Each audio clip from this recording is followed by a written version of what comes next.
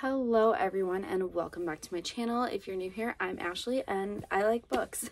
So today I'm going to talk about six authors that no matter what they release, I don't need to know what it's about. I'm going to buy it. They are my auto buy authors.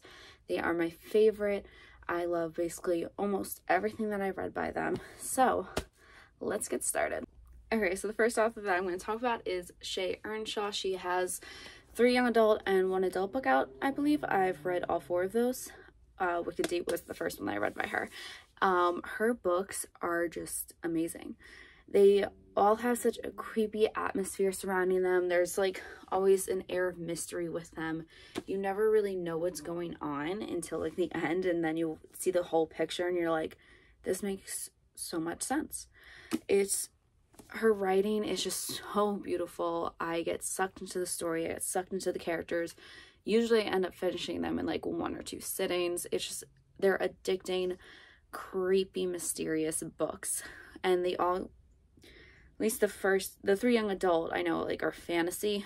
The adult one isn't really, it's more like just mystery type book, but they're just, they're addicting. The next author that I'm going to talk about is V.E. Schwab. Um, I've read a lot of uh, books that they've written. Um, I'm trying to think. I've read Darker Shade of Magic trilogy. I've read the first of the Savage Song. I have to still get the second one. I've read The Near Witch. Um, I haven't read Gallant yet. That's another one I gotta read. And Vicious and Vengeful. Um, so I still have a lot a lot to buy from this author and read and I'm so excited but I also don't want to read them at the same time because I don't want it to end. These books, this author just writes such amazing stories with such an amazing cast of characters. Um, the characters in Dark Shade of Magic are my absolute favorite. They are just so witty, so entertaining. The stories are just uh, like Shea Shaw, they're just addicting.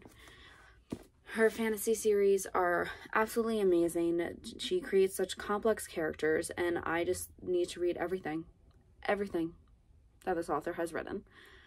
I just, I love it. This one is also signed and personalized because I saw her at the last book con that was held. So everyone needs to read this series if you haven't read it already. A new one's coming out like in a continuation of this, so I'm really excited for that. Next, we have Laura Sebastian. She writes young adult and adult. Um, I've read almost all of her young adult books. Um, she has a adult King Arthur retelling, but it focuses more on like the Lady of the Lake, which was really, really good. It was really interesting. That one is very character heavy and it focuses on the character development and it was just seeing how they change and evolve throughout that novel was beautiful this series is one of my all-time favorite series. I actually have an arc of this one and it's one of my favorite arcs that I've ever received. Um, her characters, characters in the young adult series too are just so complex and they go through so much and are so strong regardless of it. And her stories are just addicting. I know in the series at the end of book two, like a crazy thing happens that I never saw coming and I almost threw the book across the room I was in shock. And then I had to wait the next year until the next book came out and I was like dying waiting. But her books are addicting.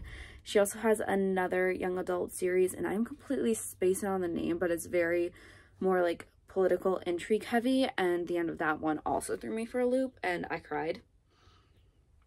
I still have to get the sequel of that one, but they changed the covers. Like they, you know what? Let me get the cover of that one. Okay, here's the other series, Castles in Their Bones. It's a nice, beautiful cover with an illustrated girl on it. And they changed it so you just see her face in a weird star. And that's how the second one is too. And I don't like it. Like, these are so much prettier to me. I don't like the whole star. It just looks cheesy and cheap. Am I still going to buy it? Yes, but I'm going to try to track down the UK edition because the UK edition is still just the full body of her and it's not like just the face and a star. Um, but yeah, this series is a little bit of a chunker, but this was absolutely amazing, addicting, complex characters, so, so good. Highly recommend.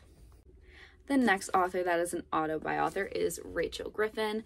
She has two books out and has another book coming out in August, I believe. Do I know what the next book out is about? No, I have absolutely no idea. I just know that she writes incredible fantasy stories that like kind of surround themselves around nature and nature always plays such a key part in it and that's part of why I love her books so so much. This is Nature of the Witches. She has another witch book. Um, both of them, the witches rely very heavily on nature and there's always like some sort of animal animal companion and it's just I love her writing so much and it's just a very calm peaceful read while also you're like what the hell's going on? I need to know.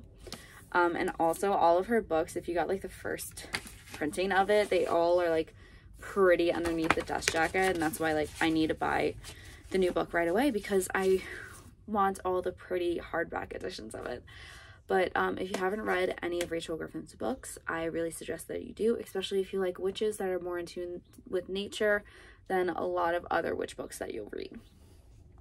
Okay, the next two authors are pretty common, well-known authors, but they are on this list, so have to talk about them.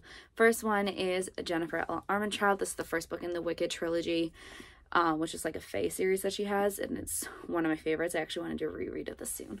So, JLA, her books are by no means literary masterpieces. They're just addicting and fun.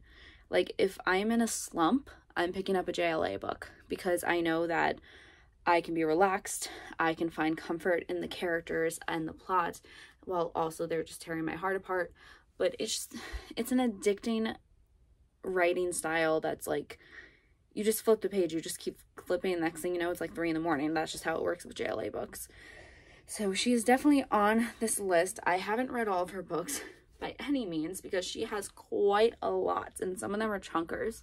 The From Blood and Ash series, I've read the first three in the original series and the first of the prequel series. So I still have like a lot to go with that. And those are like 600 pages each. But um, I love her books and I will continue to love them till the day I die. And the last author will come to no surprise if you know me. Brandon Sanderson. This is the um, secret project edition that you got if you backed the Kickstarter. It's a nice leather bound. I love it. Um, Brandon Sanderson is the king of world building to me. Like, I read the story for the worlds, for the found family, and the magic. His writing is just, he explains things so simply, but it's such complex ideas. And that's part of why I love it so much.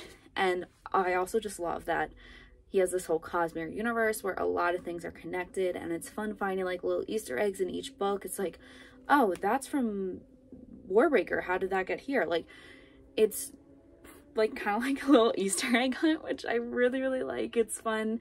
My brother also reads Sanderson. He's read more than me at this point, which is insulting, and I need to do better. But me and him always talk about Sanderson. It's just, he's a great author. I love his books. I just, I will always buy them. I have a lot more to read by him because he literally released like three or four books a year. I don't understand how this man does it and how he keeps everything straight. It is amazing to me. It will never cease to amaze me. I just, how, I'm convinced like he's a wizard or something. It's just, that's the only logical explanation, obviously. So those are six of my auto buy authors that I just absolutely love. Um, let me know in the comments what some of your auto-buy authors are, and if you like this video, make sure to like and subscribe. Bye, everyone.